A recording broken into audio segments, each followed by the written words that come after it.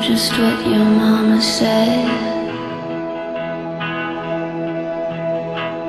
Always misunderstood. Gotta tell you something.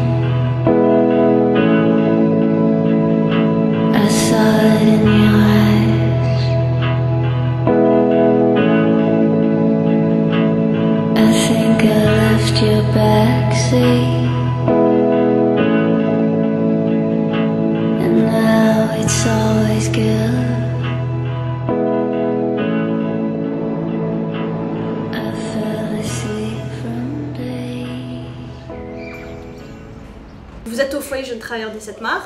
Donc euh, le foyer Jeunes Travailleurs des Sept Mars euh, a pour objectif euh, d'héberger des jeunes de différents horizons. Qu'ils peuvent venir du, du 115, euh, hébergement standard, mission locale, Contrat jeune majeur. Contrat jeune majeur. Par le biais de l'aide sociale à l'enfance. Il y, a beau- il y a des stagiaires, il y a des personnes qui viennent de l'étranger. On a beaucoup d'origines, Mm. beaucoup Ça, de nationalités. Ouais. Mon père m'avait parlé du FJT, parce que lui, il avait déjà été dans un, dans un foyer jeune travailleur avant lui, avant moi.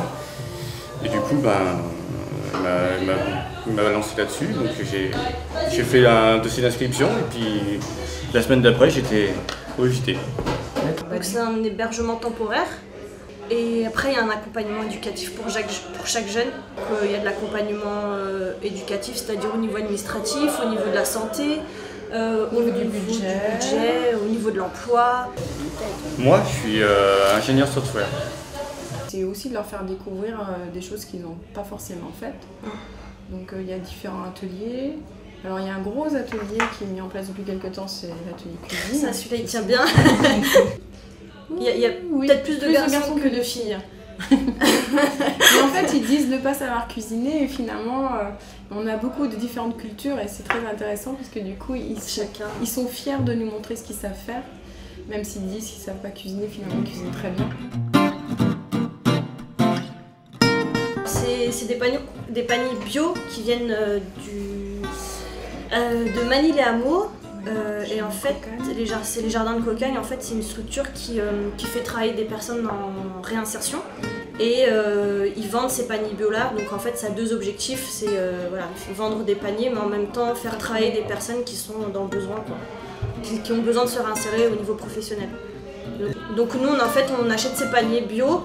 Et par la suite, à l'époque, en fait, on revendait ces paniers aux jeunes radis, carottes, fraises, origan. qui cuisinaient à la maison. Et puis après, on a, là, on a fait un atelier euh, spécifique aux paniers. Quoi. On parle beaucoup de développement durable. Donc euh, voilà, c'est passer par le chemin le plus court, éviter d'aller acheter des fraises qui viennent d'Espagne, qui ont euh, fait euh, 10 000 km, enfin j'exagère. Voilà. Le fait, le fait qu'on ait choisi ce type de panier, il y avait un avantage aussi, c'est le fait que, par exemple, il y a certains jeunes qui travaillent très tard, qui finissent tard, et qui n'ont pas l'occasion d'aller tous les, par exemple, tous les jours au supermarché pour acheter des légumes.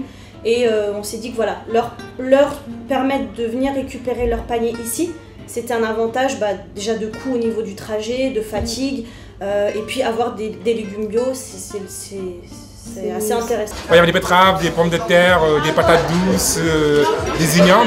Franchement, c'était varié. Il y avait de quoi faire. Des choses que je n'aurais pas achetées personnellement, tout seul. On, cuisine euh, des plats qu'on n'aurait pas cuisiné forcément si on était allé à grande surface. La cuisine est prête. Voilà le plat.